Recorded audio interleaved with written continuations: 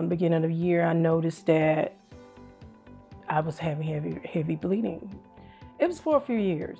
Um, you know, just sitting at your desk trying to figure out how to maneuver two heating pads. She had a total laparoscopic hysterectomy with uh, what's called a bilateral salpingectomy. We removed the fallopian tube simultaneously. We did the ultrasound to see what was what, and he was like, yeah, you have some pretty big fibroids.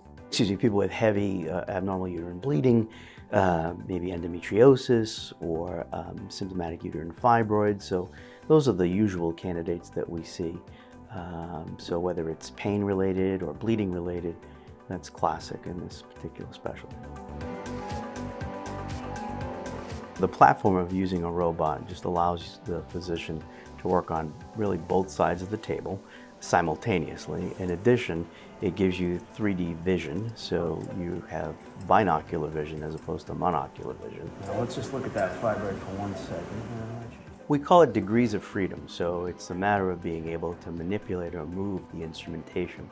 It's sort of like your wrist and being able to move it in different planes. So when I get to the console, I'm able to manipulate both sides of the table. So sometimes I think the misnomer is that patients think the robot is doing the surgery. It's not. It's like using a miniature hand inside there, but you have both of them. And actually, you can manipulate three different instruments uh, while you're inside.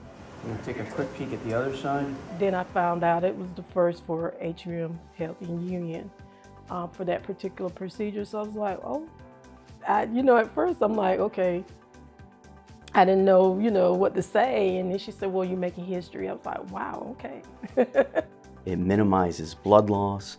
Um, it's just in general, uh, I find just a, a, better outcome for patients in general.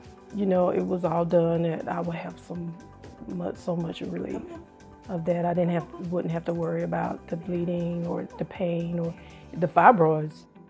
I, I am very glad I did it.